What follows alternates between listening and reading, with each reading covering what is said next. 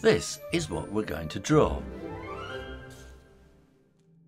You'll find this easier if you plan a little bit and draw an ellipse.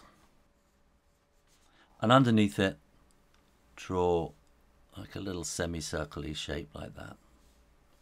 Press very gently because you'll want to erase this later and draw uh, two little lines coming out and then another curve underneath it like that.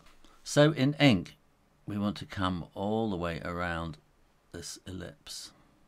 And then we want to do a similar curve, just a little, stepped off it a little bit like that and come around there and then just a little sort of dot to make it disappear into the distance. Then we're going to want to have the handle coming around like that there and then that's going to come around like that and then we're just going to dot that and then we'll continue it around like that. So that gives it a bit of sort of three-dimensional shape to it. And then we can draw this curve underneath all the way around like that and draw those two lines there. And then we'll join them together with that curve. And then we need to draw another little curve all the way around it which will be this kind of because it's made of metal and it's kind of rolled up around the base over here we're going to have a handle. Just going to come out like that across there and then like that and then it might sort of curve a little bit like that and then we're going to have a kind of a, a hole there where you can hang it up on the wall. And now we need to fill it full of spaghetti.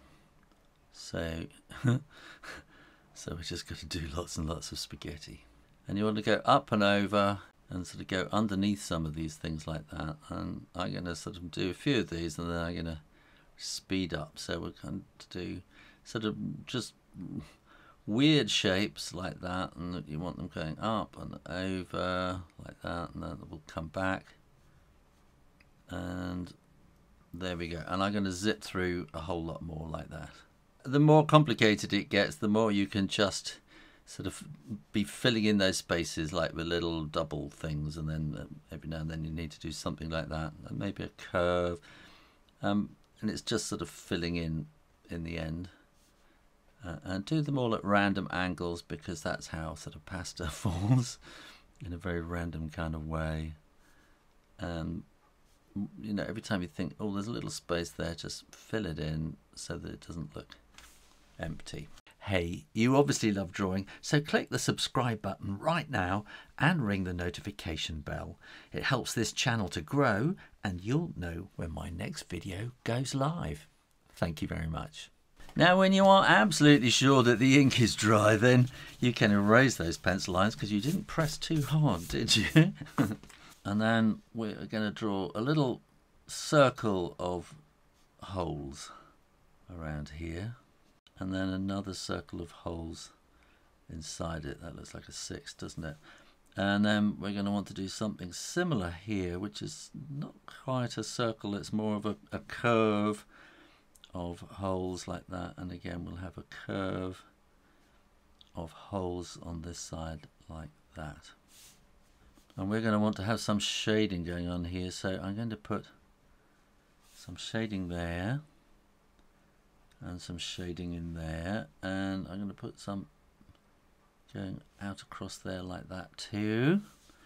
And also here that wants to be quite dark. And in fact we're going to make that more sort of going down the the, the thing because it's all stainless steel. And then here we're going to want some shading in there as well. There's more reflection really rather than shading um, we'll have a bit in there like that. Coming up there and maybe a bit there too. And I think these can maybe be a little bit darker so we'll add some more of those in there. Uh, this can be very very dark in there and then that's getting slightly wider down to the bottom.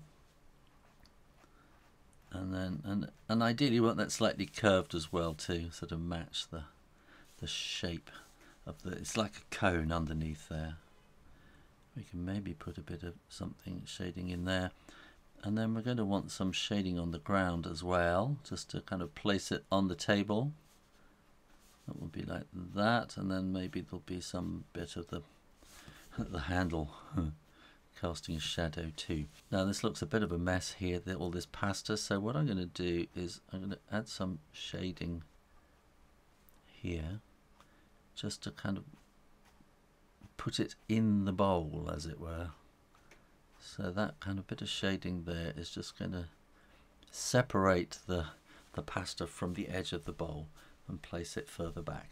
And there you go how to draw a colander with a load of pasta inside it thanks for watching and please do make sure you are subscribed to draw stuff real easy and keep coming back for lots more drawing videos every week in the meantime keep drawing drawing drawing practice practice practice and I'll see you next time. You take care now. Bye bye.